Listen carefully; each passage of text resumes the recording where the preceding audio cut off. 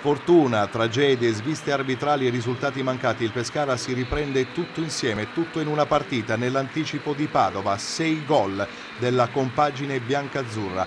All'inizio, come previsto, tutti in campo con la maglia numero 25 e quella dello sfortunato per Mario Morosini, morto a Pescara sul campo sabato scorso. Anche a Padova Moro era ben voluto e tutti lo ricordano. Ancora scosso dalle recenti tragedie che hanno colpito il calcio, vedi Franco Mancini, Zenek Zeman ridisegna il Pescara e risolleva il Pescara, autore di una partita da fantacalcio. Biancazzurri indemoniati già nel primo tempo, tantissime le occasioni da gol. Al quarto doppia occasione, prima Caprari, Perin respinge con i piedi, poi il colpo di testa di Nielsen fuori di poco su traversone da sinistra. Al nono immobile entra da sinistra, tiro forte, ma Perin si supera con il taglio della mano.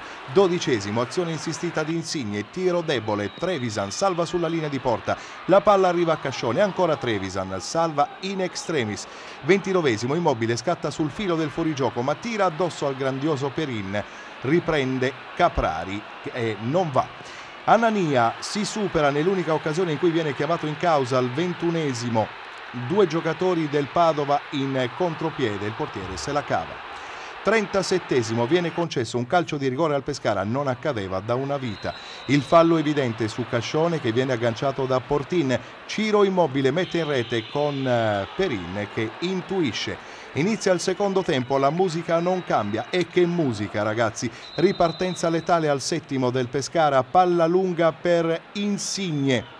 Insigne fuori causa due difensori Patavini e Perin battuto in uscita. All'undicesimo Lorenzo Insigne consegna agli annali una perla, un gol da Cineteca, imbeccato da Cascione che cambia gioco, punta due difensori e piazza questa palla all'incrocio dei pali.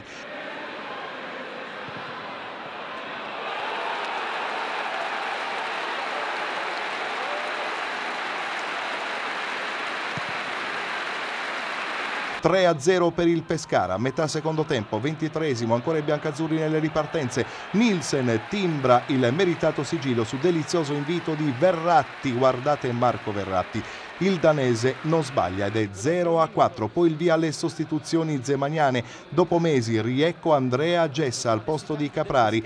Poi dentro anche Sansovini e Coni. I giocatori del Padova iniziano a picchiare come fabbri, innervositi. Al 37 arriva il quinto gol. Immobile finalizza la cinquina biancazzurra su assist di Sansovini. Sovrapposizione di Ciro che con il sinistro fa 25 gemme stagionali.